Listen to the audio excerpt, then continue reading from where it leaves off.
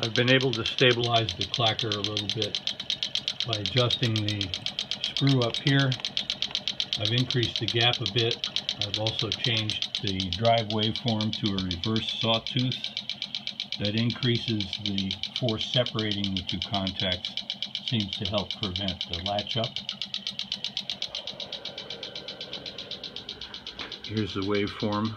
You can see that occasionally that uh, higher di dt, the abrupt downward slope appears. And I can read the average current pretty well. I don't know how accurate that is because the pulses are so short. But at least the instrument is working correctly. I've also got an AM radio set up and it's detecting only the pulses when the contacts uh, are passing current.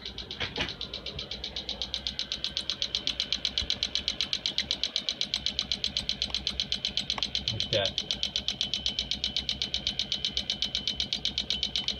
And as you can see, the Geiger counter that's right next to the cell shows essentially background. There's no increase.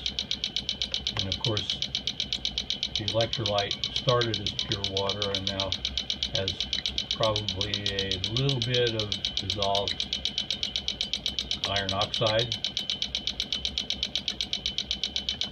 I'll let this run for a while and then I'll uh, try adding some electrolyte to the solution, some HCl.